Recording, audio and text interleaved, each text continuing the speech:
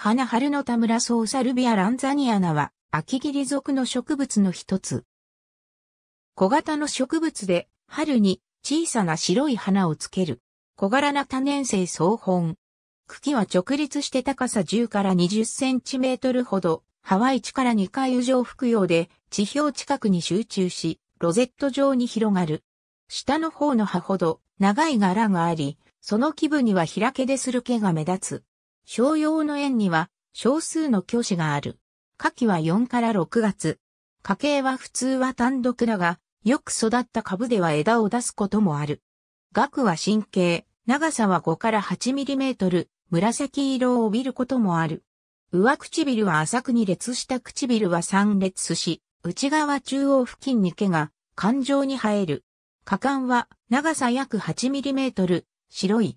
花糸の先端は T 字になり、その一方の端に細長い薬をつける。4個の文化は、夏の間は永続性の額の中にあり、熟すとこぼれ落ちる。和名は、春の田村草の意味だが、田村の言われはわからないとのこと。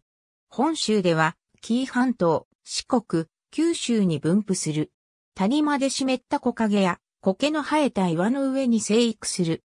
同族にはいくつか田村草の和名を持つものがあり、いずれも多少似ているが、他種が夏から秋に開花するのに対し、本種は春に咲くこと、それに小型で花が白い点で混同することはない。沖縄には、姫田村草エスピックミアがあり、本種によく似ているが、葉は、より細かく二回以上に裂け、花は、より小さい。蒸気のように分布域の狭い種であるが、保護の段階は高くない。環境省のレッドデータにも挙げられておらず、県によっては指定があるが、準絶滅保護など比較的ランクは低い。